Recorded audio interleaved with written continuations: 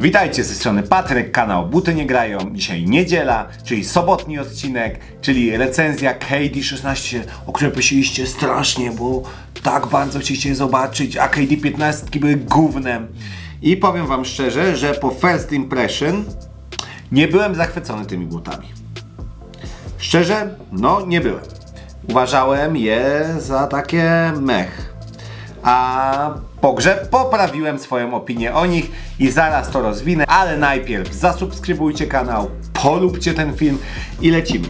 Jeśli chodzi o te buty, to kurna strasznie mi się pobrudziły, to na pewno, a mimo, że są ciemne, to jest podstawowa rzecz.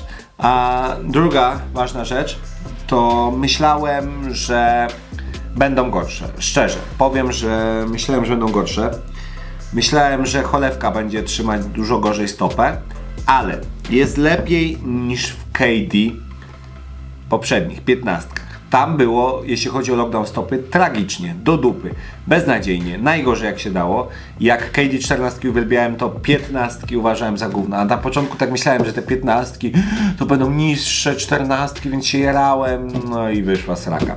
No, tutaj e, poprawili lockdown stopy, od razu powiem, nie jest on wybitny. Jest lepszy, Względem wczorajszego odcinka. Lepszy niż w lukach, dwójkach.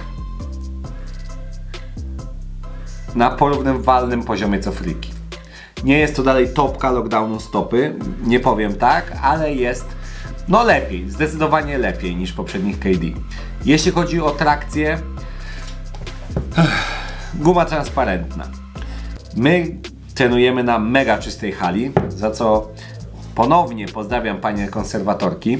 Tak, już nie woźny, poprawił mnie ktoś w komentarzu. W sumie tak ładniej brzmi konserwatorki, a ja dla pań zawsze tam chcę być jak najmilszy. Więc tutaj dla niej propsik i... I tak nie jest to topowa trakcja, najlepsza na świecie, którą będę mega chwalić, bo nie będę was kłamać moi drodzy, bo jesteście tutaj, żeby usłyszeć prawdziwą opinię a nie lizanie dupy, bo mi ktoś wysłał te buty i muszę ładnie o nich powiedzieć. Ja nic nie muszę. No, mogło być lepiej. Jest też, wydaje mi się, że lepiej, bo w KD15 też miałem transparentną gumę i jest lepiej, jeśli chodzi też o trakcję niż w KD15. W ogóle w każdym aspekcie jest lepiej. I jeśli chodzi o amortyzację, jest podobnie. O, to może nie lepiej. Tu jest bardzo podobnie, bardzo podobna amortyzacja i tam była spoko. Ja lubiłem, yy, nie narzekałem jeśli chodzi o amortyzację, a jeśli chodzi o cholewkę, bo tutaj tak na początek miałem najwięcej zastrzeżeń, to mm, te płytki tutaj spoko, spoko lepiej zamykają stopę, dlatego jest zdecydowanie lepiej niż w 15. Ale jeśli chodzi tutaj o te materiały, nie dość, że się brudzą, tu już to fioletowe jest całe pogięte, więc no też nie za dobrze. W ogóle cała cholewka wygląda jakbym w nich przegrał tutaj na poziom poniszczenia, na pewno nie 20 godzin. No nie wyglądają tak buty po 20 godzinach. Tutaj widzę, że ktoś mi podeptał całego buta, no ale no tak bywa.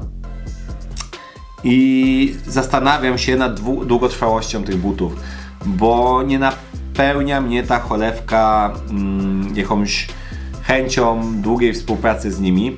Zresztą nie powiedziałem tego we wczorajszym porównaniu, ale mój kolega z drużyny Alan, którego bardzo kocham, kupił sobie friki piątki, takie różowe pod kolor strojów i mu się tutaj już odkleiły. Nie wiem, po miesiącu? Nawet nie chyba. Więc to ma jakoś wykończenia Nike. I tutaj ta cholewka też mnie cały czas napawa takim lekkim strachem, stresikiem, czy się szybko nie rozwali. No u mnie się nie rozwaliła, ale ja w nich grałem tylko chyba tam w końcu wyszło 19 godzin albo 19,5. Wiem, że mi troszeczkę brakło do tej 20, ale mówię dobra, nagram już, bo strasznie pijecie. Tutaj jeśli chodzi o wygodę, no to top tier, naprawdę bardzo, bardzo wygodne buty. Ja tutaj nie mam nic do zarzucenia, jeśli chodzi o wygodę, są naprawdę przemiłe, przewygodne. Ja tutaj mega, mega propsuję. Pff, czy są rzeczy, do których jeszcze bym się doczepił? No nie, nie ma. Jest to porządny but. W wielu aspektach poprawili piętnastki na pewno. Ale czy to jest but warty 750 zł? Szczerze? No kurde, nie. Ja, jeśli już musicie mieć Nike'a, to bardzo podobny profil buta kupiłbym Freaky piątki, a kupicie go 200 zł taniej. No, w mojej opinii zawsze lepiej mieć 200 zł niż ich nie mieć. Ja szczerze wybrałbym yy, Freaky piątki, a w ogóle to wybrałbym Pumę od Pro jeśli szukacie niskich butów. No cóż, moją opinię o tych butach już znacie. Czekam na Wasze opinie, bo wiem, że wiele osób je ma. Piszcie w komentarzach. No i co? Do zobaczenia w następnym odcinku już we wtorek. Nara!